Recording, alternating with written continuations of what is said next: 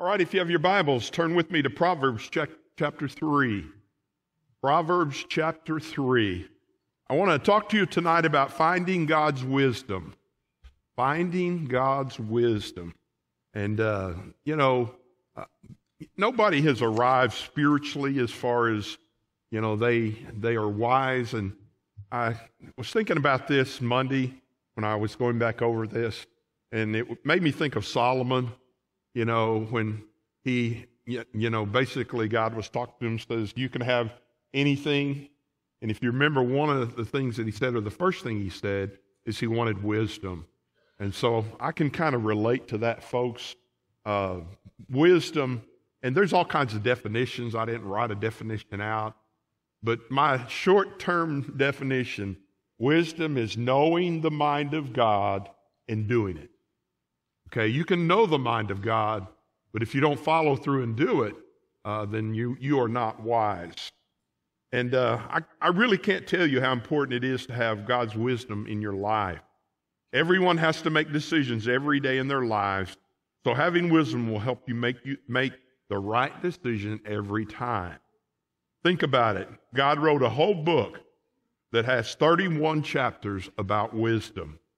All of life is a spiritual journey, and we need, to, we need help going through this thing called life. Only four things can point you in the right direction every time Jesus, God, the Holy Spirit, and His holy word. Let's look at Proverbs chapter 3 to find out how we, be, how we can become wiser in God's eyes. The outline is number one, we can be wiser through knowing God's law. Knowing God's law. Number two, we can become wiser through trusting God. Trusting God. Number three, we can uh, be wiser through honoring God. Honoring God. And number four, we can become wiser through obeying God. Obeying God. So let's look at these four things that I want to encourage you uh, to seek in your own life. Proverbs 3, verse 1 My son, do not forget my law. And again, you know, when Proverbs was written, you know, we're in the Old Testament, and there wasn't the New Testament, and, and the laws, uh, you know, started, you know, after Genesis and Exodus, and then, you know, uh, uh, you know, up the laws, uh, uh, the Ten Commandments was what I was trying to get to. Uh, they were some of the first laws uh, that we see in God's Word. So they are talking about the Word of God here. But let your heart keep my commandments, the thou shalt not, okay, which we know very well. For length of days and long life and peace they will add unto you. Hold your finger there and go to Psalm chapter 1, talking about God's law. Psalm 1, verse 1. Blessed is the man who walks not in the counsel of the ungodly, nor stands in the path of sinners, nor sits in the seat of the scornful. So, what is it talking about? He's talking about the world there. We don't need to run with the world. We need, don't need to take on worldly values, okay? But his delight is in the law of the Lord. And the law is, folks, the Word of God. Okay, the Word of God. And when you think of the law, it's something that you need to obey also. So he is telling us we need to know the law and we need it to be a part of our life. And his law, he meditates day and night. And, when, and this is where I get starting the starting your day out in the Word of God. And folks, I've done this for years, okay? When after I get my shower and I get everything, I get woke up and get my first cup of coffee, I get the Word out and I spend time in the Word. And the last thing I do, I have basically three devotions that I go through in a day's time. And I'm not bragging, I'm just telling you uh, what I do in my personal life.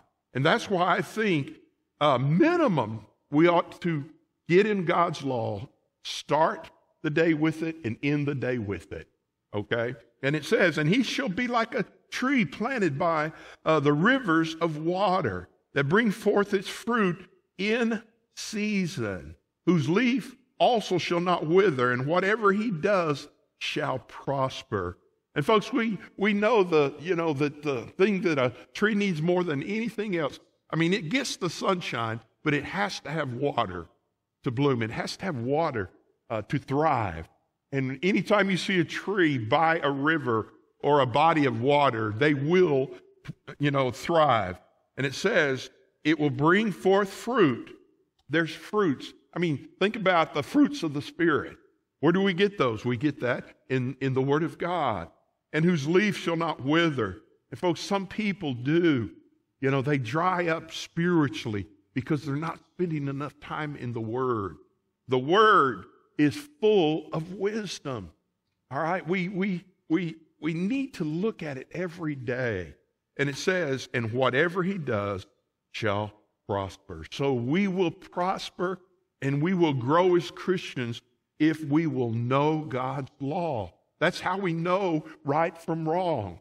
I mean, I know we have the Holy Spirit that helps us, but we have to put good things in our minds. We have to put God's law in our hearts uh, so that we will grow. And then look back in our text, and it says, And peace it will add unto you. Folks, there's nothing like, uh, you know, reading your Bible at the end of a day and saying your prayers and just falling off to sleep.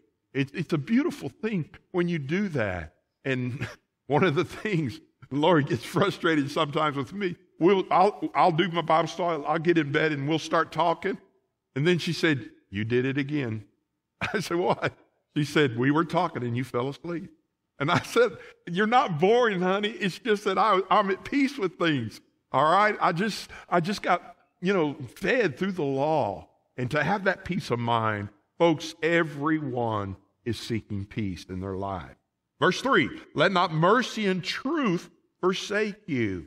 Both of those are part of God's law. Bind them around your neck, write them on the tablet of your heart. And it's just like a necklace. You know, you can see necklaces, especially on ladies. All right. And, and I love it when I see a necklace and a cross on a la- lady's neck like that. I, I like the, you know, the crosses or, or some kind of, you know, design uh, on the earrings. All right. They are reminders of who we are and what we should be about. And the Word of God does that. The Word of God is reminders of whose we are and what we're about. Write them on the tablet of your heart, and so find favor and high esteem in the sight of God and man.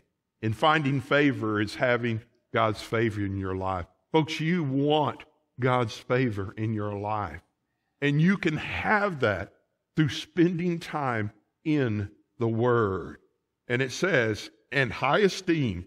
All right, God loves you uh, to spend time in His Word. God loves to see you meditating over Scripture.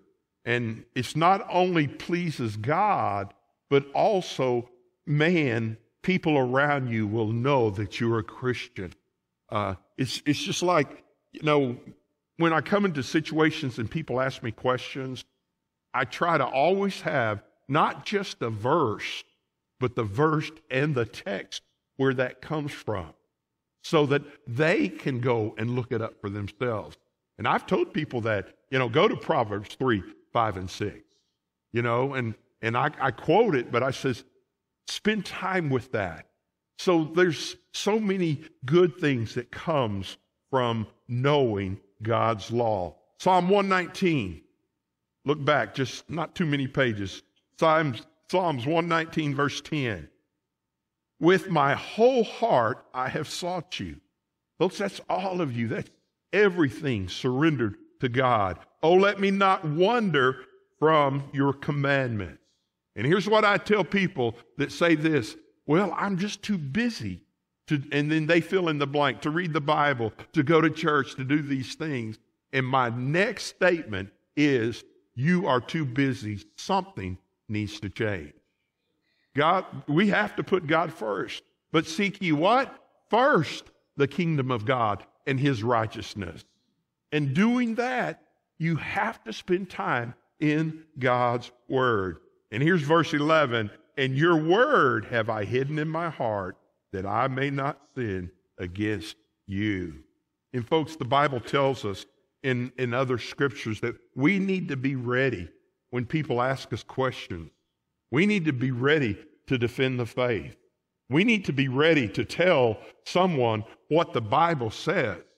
And the more verses that you can turn to, and the more verses that you can quote. And the deal about memorization is you're not always going to have a Bible with you, folks. But we need to be able to spit out those verses. And, and some people, here's the excuse I hear well, I can't memorize anything. Well, folks, there are very few people that have that photographic memory where they do it one time. And to be honest with you, those people, well, I'll just say annoy me. and I'm kidding. But it, you know, it's crazy when you get around somebody like that that they can read one thing and, and get an A in it, you know. And I've, I've been around students like that. But here, the key for me to memorize scripture, I have to put it on an index card and I have to go over it and I have to go over it and I have to go over it and I have to go over it till it sinks in. That's what meditating, that's what memorizing does so that you will be ready and the other thing about wisdom is, folks, people are seeking, other people are seeking wisdom. All right? And we need to share the wisdom that God gives us. I'm not talking arrogantly or showing off or just trying to be super spiritual. I'm trying to say, you know, thus saith the Lord. Man, the Word of God speaks to this subject, and we need to know God's law if we are going to find wisdom. You know, the will of God can be found in the Word of God. The will of God can be found in the Word of God. And there's many times that I've been reading through the Word of God, and He will give me a sermon outline, uh, He will give me a devotion, He'll give me an answer to somebody uh, that I, I may be counseling in the future. They made an appointment, they've told me about what it was, and He'll give me a word in that. So we need the, let me just flip that. The more you read God's word, the wiser you'll become. Okay? Number two, through trusting God. Through trusting God. And, you know, uh, Proverbs 3, 5, and 6 is one of the most quoted scripture in Proverbs and in the Word of God, but it has so much truth to it. Trust in the Lord with all your heart. What does it say? The Bible tells us to love the Lord God with all of our soul, heart, and mind. Okay? We need to trust God for everything. Folks, God knows what we're going through. God knows every need that we have. God knows when we're hurting. God knows when we need answers. God hears our prayers. We trust God for salvation. But, folks, that's the beginning of the journey. We never get to where, and, and sometimes we do this, we try to fix things ourselves. We try to fix things, and then when it, we don't get it done, we get frustrated. Folks, we must start with God, walk with God, and end with God in, in all situations of life. Trust Him with your life. Trust Him with your family. Trust Him with your job. Trust Him with your finances. Trust Him for the future. Trust Him in everything. And then with all your heart simply means, you know, uh, He's not wanting part time Christians. Folks, He wants, you know, because the true thing is, you know, I, I was going to teach and be a coach, and all I had to do is my student teaching at the end to, to, to do that before I got called to the ministry. And folks, I, I was around athletics uh, I played football, uh, baseball. I was going to coach baseball, was what I was going to do. That was my plan. And you take, and, and let's just take basketball. You take five guys that'll work together and that work hard and will do, you know, you know, just give a hundred percent. I would take that over any superstar star team. Okay? Because they, you know, they, they're playing for themselves. They're looking, you know, I can tell that at halftime when I hear somebody say, How many points have I got? Folks, I'm telling you, we need to give God 100% of our hearts, our lives, our souls, and our minds. Trust in the Lord with all your heart. Lean not unto your own understanding. Folks, there's a lot of things in life I don't understand. Okay? I don't understand, you know, and, and this is a thing. I, I'm just telling you, it's one of the hardest things. I don't understand why babies die. All right? It's heartbreaking. I've been at hospitals. I've seen uh, mothers with, with them in their hands, and you have no words to say. All right? And you just have to keep telling them, we've just got to trust God. We've got to trust God. All right? God has a plan. You got to believe that He does. Lean not unto your own understanding. I don't understand, uh, you know, why why people get let go at jobs. I don't understand why, you know, uh, they the the finances are, are not there at times. All right, there are a lot of things in life that I don't understand. There are a lot of things in life that seem unfair. But, folks, we have to trust God. God has a way, God has a way out. Uh, God is there for you. He's going to walk through every problem, health problems. Okay? Health problems is another one that comes up a lot in my life, in my line of work. I don't understand, but we have to just keep trusting God. In verse 6, in all your ways, acknowledge him, and he shall direct your paths. Folks, God's not hiding from you. God's not mad at you. Okay? He, here it's saying, you just keep God first in your life. Keep trusting, keep believing, and He will show you the way. The Bible tells us that, that Jesus is light. He is going to light the way. There's a solution to every problem you have in life. God has the solution, God has the comfort. Jesus is the great shepherd. Jesus, the, the Holy Spirit, is the comforter. So even when we can't see God's hand, we have to trust his heart. We have to trust his heart. And, it's, and it says in verse 7 Do not be wise in your own eyes, fear the Lord, and depart from evil. And again, folks, it, you know, we everybody has opinion. Everybody tries to, you know, make suggestions and give advice. But we, we can't get to where we feel self sufficient, okay? Man, we need God every day of our lives. We need God.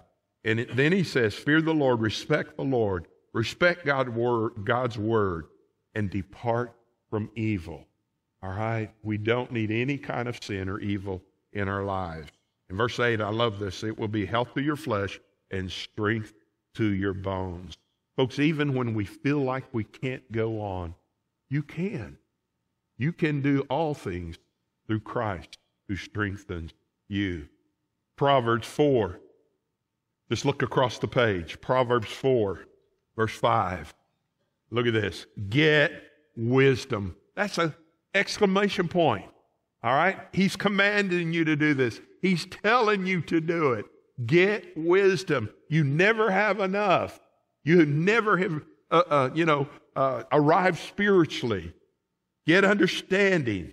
Do not forget nor turn away from the words of my mouth. That's God's holy words. You can't do it on your own. You can't make it on your own. You need God. Do not forsake her, for she will preserve you. Love her, and she will keep you. It's talking about wisdom here, folks. We need to love wisdom. We need to seek wisdom. And it says, wisdom is the principal thing. It's not the one and only thing that is Jesus, but it's the principal thing. And we need principles in our lives. We need guidelines in our lives. We need to, and, and really, I know this, it's so simple, and I've said it a thousand times in my lifetime. I started it when I was a youth minister. The simple bracelet that says, You want wisdom? What would Jesus do? All right, would Jesus chew out that nurse? would Jesus run a red light? Would Jesus uh, give bad advice? Would Jesus get mad, uh, you know, about something? And, you know, and, and again, folks, every answer in the Bible is, there's an answer and it's wrapped around Jesus, and Jesus knew what wisdom was. It is the principal thing. Therefore, get wisdom. And all you're getting, get understanding. Exalt her, and she will promote you. She will bring you honor when you embrace her. She will place on your head an ornament of grace, a crown of glory she will deliver to you. Oh, folks, if we can get this in our head, get wisdom. We will hear this when we get into heaven. I believe with all my heart, if you seek wisdom with all your heart, all right, well done, my good and faithful servant. And folks, everybody's had a job, everybody has made money, and everybody wants to please the boss. Everybody wants to be good at what they do. And the same thing is true in our Christian life. It takes work to be a Christian. You've got to work at it. It just doesn't, you know, it, it doesn't come naturally. And I know the, the spiritual side of that, but we need wisdom in our life. And we have wisdom by knowing God's law and through trusting God. Number three, matter of fact, uh, I just thought of this. The song that comes to my head Steve, trust and obey, for there's no other way to be happy in Jesus but to trust and obey. I can't wait till I get to heaven. That's one thing about working with and listening to Bob Shelton. He'd be preaching along there and he'd just start singing. And he, he had the most beautiful baritone voice. I'm telling you, uh, I'm going to have a beautiful baritone voice in heaven. All right? Number three, through honoring God. Look at verse 9. Honor the Lord with your possessions. With your possessions. And you say, what's that got to do with wisdom? Oh, it has to do a lot with wisdom. There are laws of God's that always work, folks. The, his laws always work. And a problem that a lot of people have is with their possessions, or, or let me just, let me put it the American way, their money. All right? And folks, we don't have a money problem at this church. It's obvious that there are a lot of people doing what the word says on the giving of money. But I am telling you, uh, it came up in a conversation last week with, with, with somebody that I, I was talking to. And basically, you know, the children of a, uh, someone who deceased were fighting over the money and the division of the money. And here's what I've always said, folks. And I told my sister, my baby sister was the one, uh, was the executor to the will. And at the day of the funeral, afterwards, I said, Susan, if I don't get a dime, that's okay with me. Okay? I will not be at odds with my family over money. Okay? And I am telling you, business partners, families, all these things. And folks, the second side of that is we need to be wise with our money. Okay? We, we should want to be able to give when there's a cause. And if you are wise with your money, when those causes come up, I, am just telling you, I love this church because if we say this is a legitimate need, boom, we have, we have the money for it. We, we'll raise the money for it. It's because people are faithful and honoring God with their tithes and their offerings. And we know that tithe is 10%, 10% of, of what you make. And an offering is anything that you give above that. But this is what it says honor the Lord with your possessions and with the first fruits of all your increase. So your barns will be filled with plenty, and your vats will overflow with new wine. And folks, God promises to take care of you if you will do your part in giving. And let me say this you cannot outgive God. You can't do it. Because do you realize all of giving is not just money? You give of your talents to God. Okay? Giving out good advice shows wisdom also. All right? It's, it's about being well rounded in your giving. The, the money part is just, and I am telling you, since I, little, little, I remember when we first started, uh, you know, our parents was teaching us tithing when we just, I mean, it's like we had an envelope when we were probably five, four or five years old. It started with a dime, then it went to a quarter, and then it went to a dollar when we got into junior high, and it, it got more. And, and, and they just taught us the principles of giving, and wise people do that. because they understand you can't outgive God. And do you realize also that giving is an act of worship? It's an act of worship. You are giving to God when you give. And, and again, I know I'm probably preaching to the choir here tonight because y'all are coming on Wednesday night. Y'all, y'all are probably the most faithful group we have. But I'm simply saying we need to honor God uh, through, and, and when we honor God, we find wisdom. Luke chapter 6. Luke 6. Luke 6, verse 38. I love this verse. Give, and it will be given unto you. Now, it's not one of these, okay, Lord, I'm going to put this in the plate, and it's 20 bucks. I read this verse, and you're going to give 20 bucks back to me. All right? No, no. Your attitude in giving is, is very, very important. And you know, when it comes to giving, too, there have been people that have borrowed things from me. There have been people that borrowed, you know, wanted money and said, I'll pay you back. And folks, I never ask them for the money. And there have been people that have never paid me back. And I don't know why. Maybe it's just me. But I find it easy to let go. I really do. Because truthfully, it's not my money anyway. It's God's. God gives me the ability to work and to make money. All right. And again, I'm not going to lose a friendship. I, I, let a guy borrow a shotgun when I was in college. A friend of mine that we used to run around with. Never, never said a word, never gave it back. I never asked him a question. That way, you know what? You'll always have the right attitude towards that.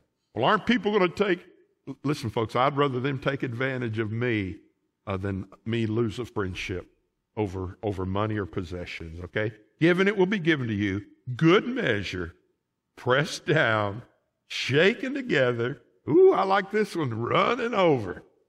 Don't you love it when it runs over? All right? And it says, will be put into your bosom, for with the same measure that you use it, it will be measured back to you. And you have to understand, folks, it's not always money, even health. Man, if you were able to walk in here tonight, you have decent health, if, if nothing else. You woke up this morning, God gave you another day to live. Folks, we have to look at things besides money. Okay? Friendship, worship, fellowship. I mean, you think of all that God gives us and, uh, you know, he, he, he can, folks. I, I'm telling you, my cup runneth over, Psalm 23. And then 2 Corinthians 9.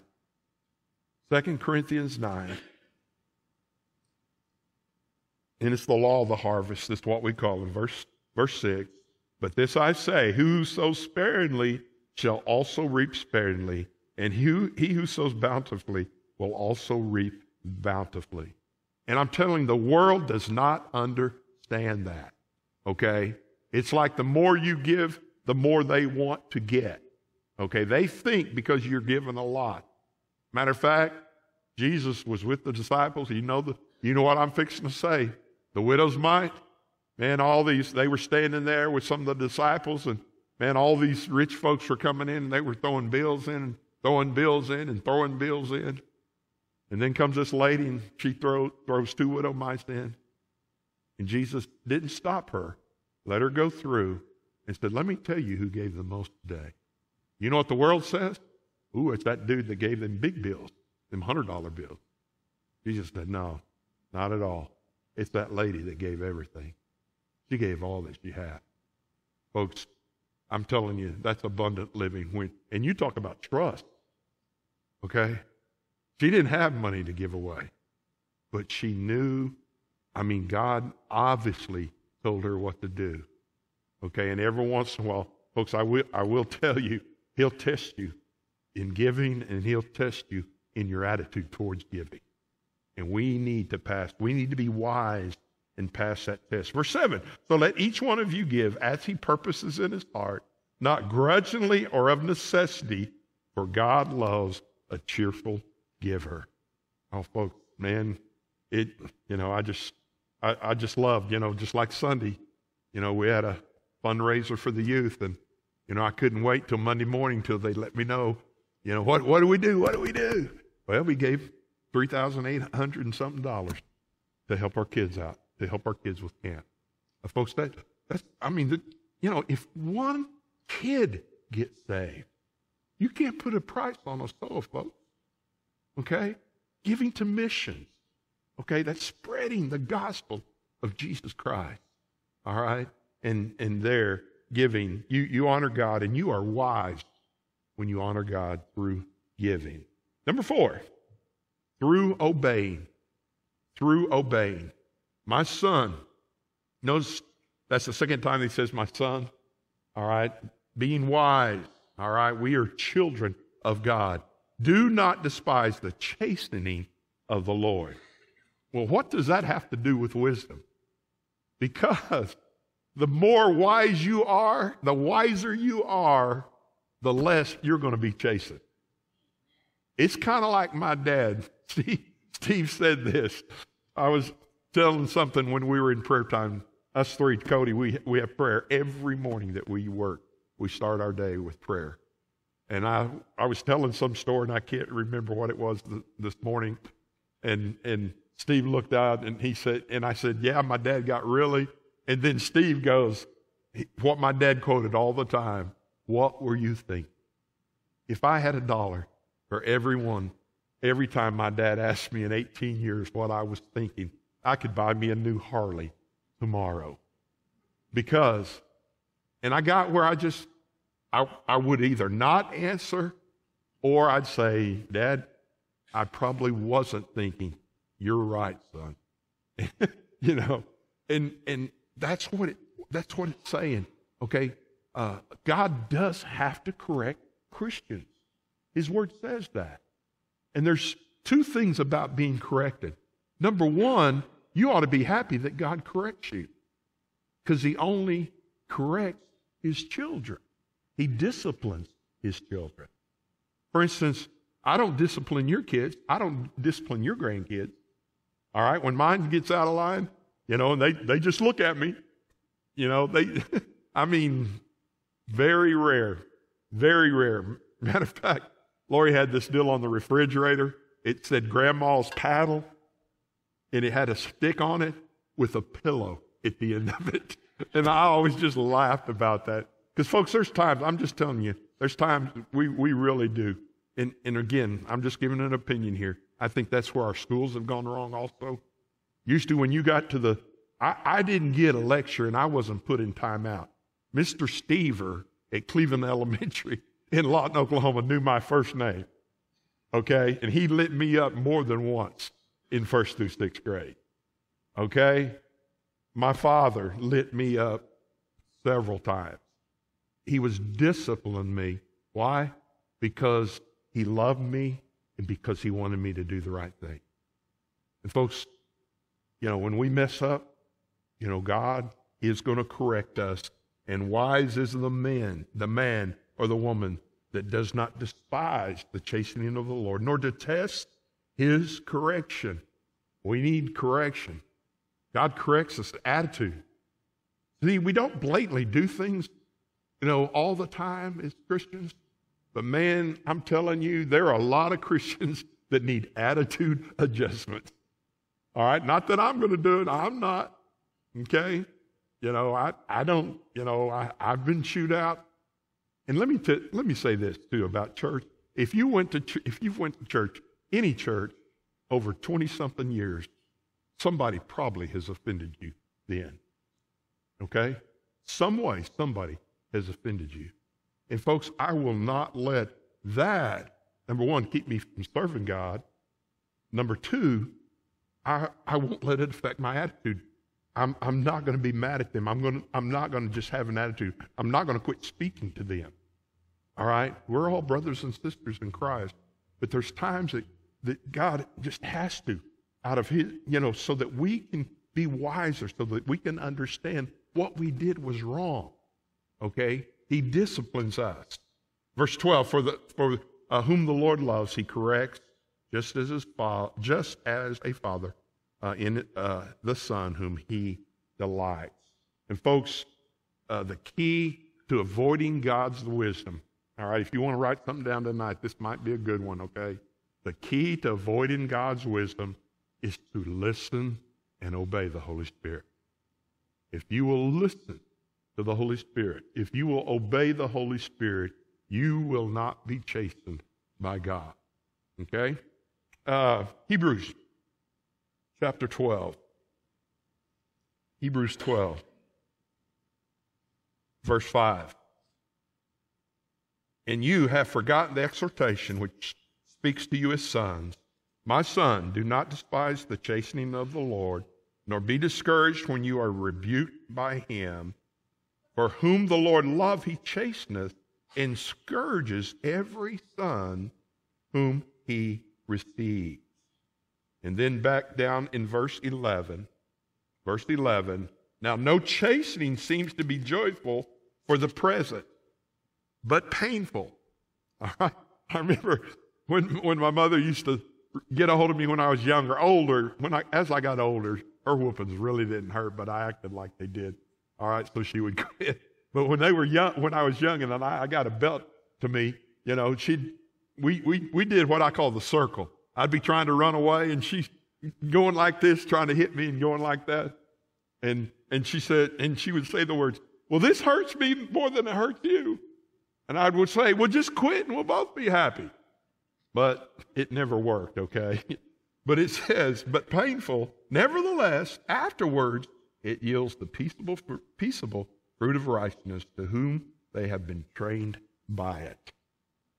I remember a coach that I had in junior high in eighth grade.